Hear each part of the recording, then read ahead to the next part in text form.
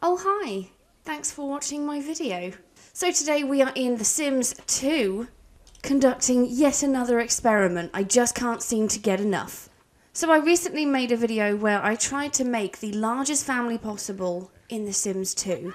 And it was going so well, you know, we ended up with quite a big family, but the problem was the family tree in The Sims 2 was kind of limited to showing just as far as like grandparents. So even though my sim had a massive family tree, I really couldn't see much of it. Involved a lot of clicking. So today I thought we would do another challenge on the family tree, testing something else. Trying to figure out how complicated I can make a family tree in The Sims 2. So let me first introduce you to our subjects. I have a pair of twins here, Lou and Lacey. They're currently teenagers, however, they're not going to stay teenagers for long. They're going to become adults very soon. They live in this house with their mum, Jen, who is an adult, and they also have this guy called Jax, who doesn't really have any kind of relationship with them, he just kind of lives there. So, I was trying to think about how I could try and break the family tree in The Sims 2. I don't think it can be broken because The Sims 2 is so well made, it's like indestructible. But I am curious about what a Sims 2 family tree would look like if I tried to have as much crossover in one family as possible. So Jax here is going to have a baby with Jen, who is the mother of the twins. Then he's going to have a baby with one of the twins after they age into adults. And then he's going to marry the other one. So he'll have two babies and one wife, and the babies will be very closely related. I do have my tombstone of life and death to help me out. I am going to be using cheats. But that should always be assumed with my videos. You know, I've said it once, I'll say it again. If I'm playing, I'm cheating. Unless I state that I'm not cheating, you got to assume I'm always cheating, okay? So let's start by working on the mum. We'll just give them a super high relationship. Maybe you two can go for a romantic hug, and in the meantime, I'll get one of the. I'll get the two teens to age up. Really? You're gonna try flirting with the mum while you're taking a dump? We we need to go in for a caress, man. Why are you, why are you resisting this? Caress the sim. Are we going to caress her? Fine. Oh, there we go. There we go. Okay, they've fallen in love, head over heels. I don't really know what I'm going to do to stop her from being jealous, though. But you know what? That's a problem for another minute. Okay, so you two, you guys can try for a baby. Give me that sexy cutscene. And the twins are planning their outfits currently. Oh, here we go. The old cutscene that we all know so well kind of depressing when you see it being done on a bed with white sheets in a white room with no other furniture. Depressing, isn't it? Oh, I think a baby was made. So you know what, Jen? Let's go ahead and speed up that pregnancy, huh? I'm wondering if there's something I can give them to try and like distract them from like because if he's gonna woohoo with one of the other chicks, then I'm going to need to try and get something to keep Jen occupied so she doesn't catch them. I mean, it doesn't really matter if she does, but I could just really do without the drama, you know? Maybe I'll give them like a hot tub and then she can just hang out in the hot tub. And Lacey, let's give you a super good relationship with Jax.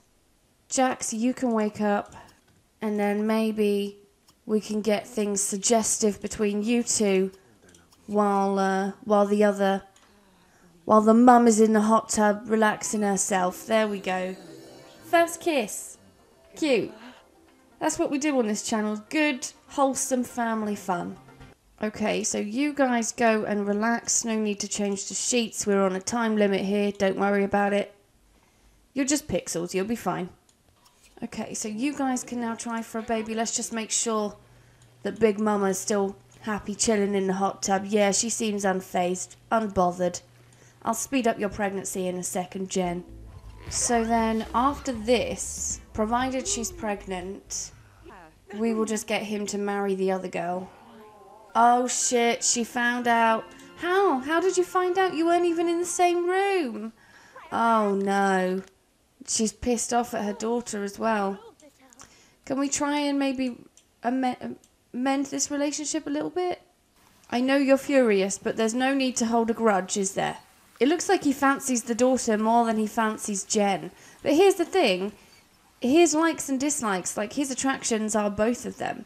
So I guess he just likes Jen more because she's younger, maybe. I don't know. But I'm thinking, let's get Lou and Jax over here. And maybe these two can have just a little little flirt. They don't really need to try for a baby, but maybe they can get married or something.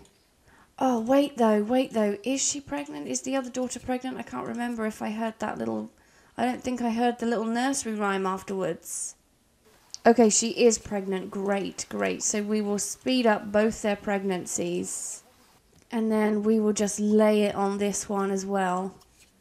Just to really, really take the piss out of this family. And then we will go for a romantic kiss. And then we can propose engagement to her. She's the one we're going to marry, I think. Oh, he's asking the question. She seems thrilled. Never mind the fact that there's a baby coming by her mother and sister. Nah, keep it in the family. Beautiful. What a beautiful moment, witnessed by all. Oh, they can just get married there and then. They may as well. Just get married.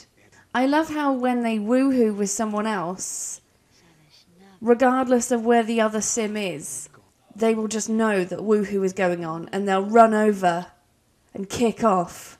Yet when they get married, none of that.